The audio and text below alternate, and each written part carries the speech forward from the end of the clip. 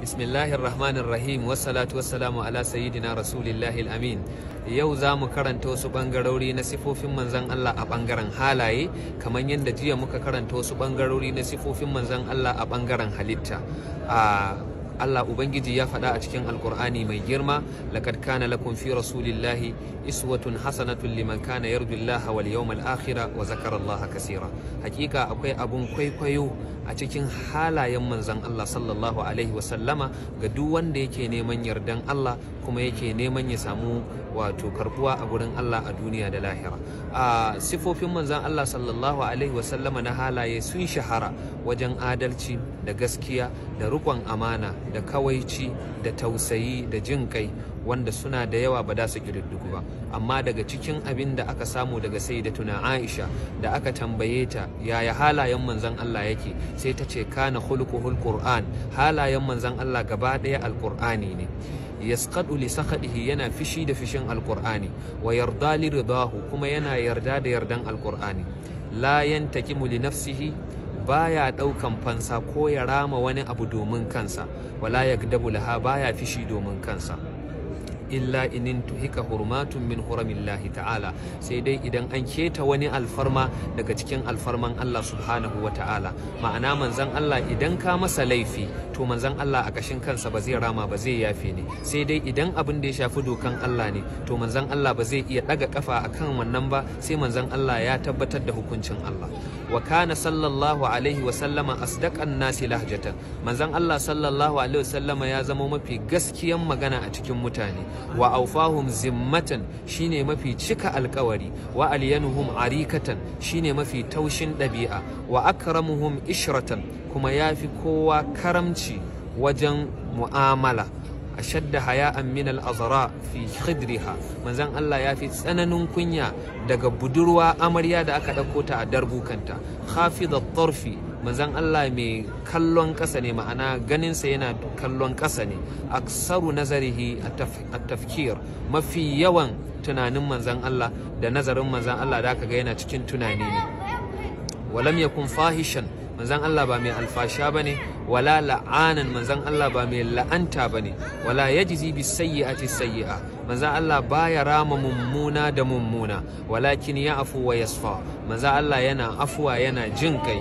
Man sa'alahu hajatan wanda ya tambayi manzon Allah wani abu na buƙata lam yaruddahu illa biha. Ba zai ce wa mutum babu ba sai ya bashi wannan abin.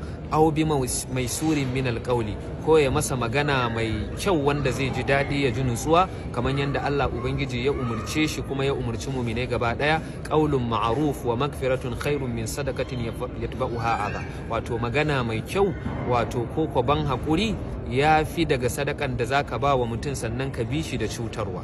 Laisa bi fazzin manzon Allah ba mai kakkausan hali ba ne wala galizin ko mai kakkausan zuciya. Haka Allah ya faɗa fa bima rahmatin min Allah linta lahum walau kunta fazzan galizal qalbi lam faddu min hawlika.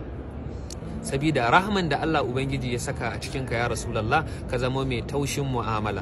Da kai mai kakkausan hali ne mai kakkausan mu'amala ne da sahabbanka ba su zauna da kai ba sun watse. To manzon Allah laisa bi fazzin wala ghalizin wala yaqdau ala ahdin hadithahu. Baya yanke ma wani labarin sa in ka zo kana ba da labari manzon Allah ba dai katse kai ce kai shiru ba. Hatta ya ta'adda sai mutum ya kala ya kare labarin sa fa yaqdauhu bi nahyin. Manzon Allah sai ya yanke labarin da hani ya ce masa to ka bari au kiyamin ko manzon Allah ya ce to yayi. Ma'ana manzon Allah in ka zo masa da labari sai ka gama ba da labarin sai manzon Allah ya ce maka to a'a ko ko ya ce maka eh. Wa kana sallallahu alaihi wa sallama yahfazu jarahu manzon Allah yana kiyaye haƙƙin makwabcinsa har yana ce man kana yu'minu billahi wal yawmil akhir falyukrim jarahu. Wa yukrimu dayfahu haka kuma manzon Allah sallallahu alaihi wa sallama yana girmama bakonsa bakon da ya zo gidan manzon Allah abin girmamawa ne. La yamdi lahu waqtun fi gairi amalin lillahi. Ba wani lokacin da yake shigewa manzon Allah yana zaman banza kowane lokaci yana cikin aikin Allah ne. Au fi ma la budda minhu ko abin da babu makawa sai an yi.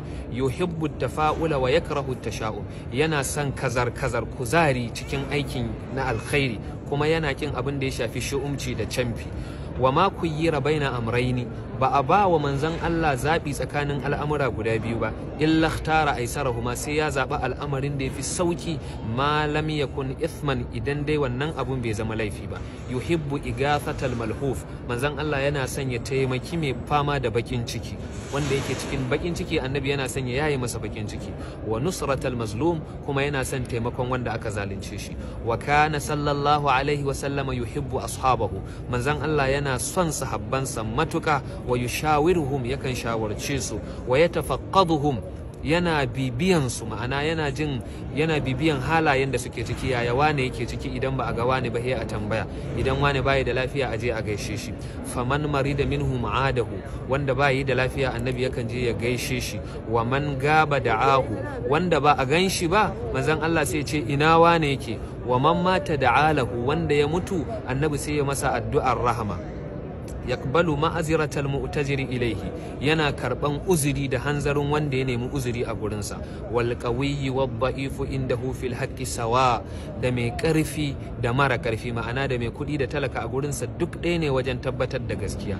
Wa kana yuhaddithu hadithan manzon Allah yakan ba da labari law addahu al-addu la ahsahu. Da mai kirge zai ƙirga kalmomin zai ƙirga adadin kalmomin da manzon Allah ya faɗa. Sabila da shi an bashi jawami'ul kalimi. Li fasahatihi saboda fasahansa wa tamahulihi da kuma jinkirinsa jinkirtawansa. Wa kana sallallahu alaihi wa sallama manzon Allah ya kasance yamzahu yakan yi tsokana ma'ana ya ji bakin mutum ya ji me mutum zai ce. Wala yaqulu illa haqqan baya faɗan magana sai maganan da ya zama gaskiya. Sallallahu alaihi wa alihi wa sahbihi wa sallam. Zan rufe mana da wato hadisin abu huraira wanda ya ce wani lokaci muna zaune da manzan Allah sai wani balaraban ƙauye ya shigo sai ya kama wuyan manzan Allah sai ya ce ba mu daga cikin haƙƙin wanda Allah ya baka. Ma'ana ya kama mayafin manzan Allah ya haɗa. Shi yana yin haka ne a cikin wasa. Sai manzon Allah sallallahu alaihi wasallam ya ce a bashi wani abu. Sai aka bashi sai ya raina. Manzon Allah ya ce a kara masa. Da aka kara masa sai ya yi farin ciki. Manzon Allah sai ya yi murmushi ya ci gaba da kallonsa ma'ana manzon Allah sallallahu alaihi wasallama yana haƙuri da wautan wawa yana haƙuri da jafa'i mai jafa'i. Kuma manzon Allah ba a ganin fishinsa sai dai idan an taɓa haƙƙin Allah. Wannan su ne halayen manzon Allah sallallahu alaihi wasallama. Muna roƙon Allah ya azurta mu da halayen manzon Allah. Assalamu alaikum wa rahmatullahi wa barakatuhu. Muna taya junanmu murnan zuwan watan rabi'ul awwal. Hani li ibrahim laha hilaluhu hilalun badalin nazirina jamaluhu hilalu rabi'in fihi ja'a muhammadun fatamma lana al-bushra wa amma nawaluhu sallallahu alaihi wa sallam. Assalamu alaikum